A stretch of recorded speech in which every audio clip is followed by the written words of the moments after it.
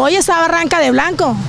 Barranca está de blanco hoy porque hoy hay un gran encuentro en Barranca Bermeja por el empleo, por, la, por todo lo que está viviendo nuestra ciudad. ¿Cómo se van a movilizar? ¿Dónde va a ser? Eh, buses hay en todas las comunas, eh, van a tener ida y vuelta, no van a tener que pensar que porque se quedan en sus casas porque no tienen su medio de transporte. Va a haber totalmente, el transporte va a estar eh, fluido en todas las comunas. ¿El lugar?